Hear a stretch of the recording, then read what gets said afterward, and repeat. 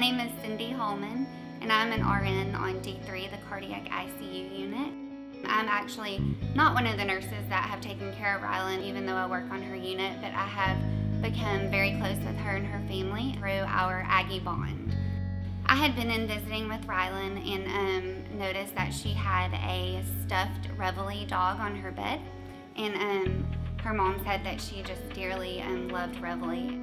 My sister, who is um, lives in College Station, both of um, us thought that it would be um, a great thing for Rylynn if we could bring the real Reveille to her, the pride and joy of our school.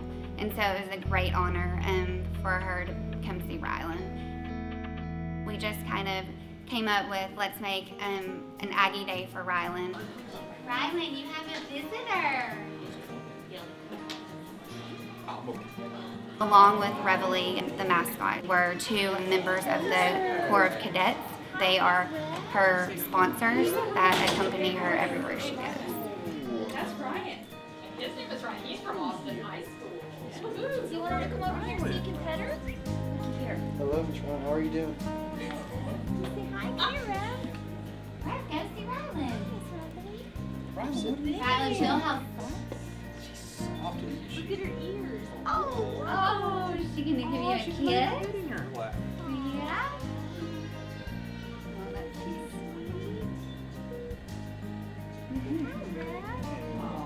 Look at her nose. What do you think? Is she tired? Is she gonna down? Hey, do you want to give Miss Reveille your card? She's from Kansas, Topeka, Kansas. Really? Sure, she was, uh, she was, uh, she's from. I bet we can give it to Ryan, Mr. Ryan. I bet if we give it to him, he can give it to Natalie. Would you like to do that? Oh, Can you wow. give it to Mr. Ryan? Thank you so much, And Miss can you Rylynn. tell him nice to meet you? Shake his hand, Ryan?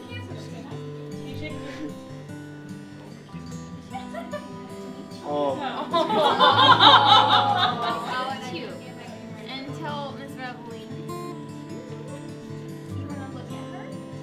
What do you want to give do? her the card? Do you want her to see the card? Yeah, let's show it to sorry, her. I'm being selfish. I'm Okay. not sharing it with her. Let's show it to her. Do you think she'll like it? Oh. I bet so. What do you think, Miss Rev?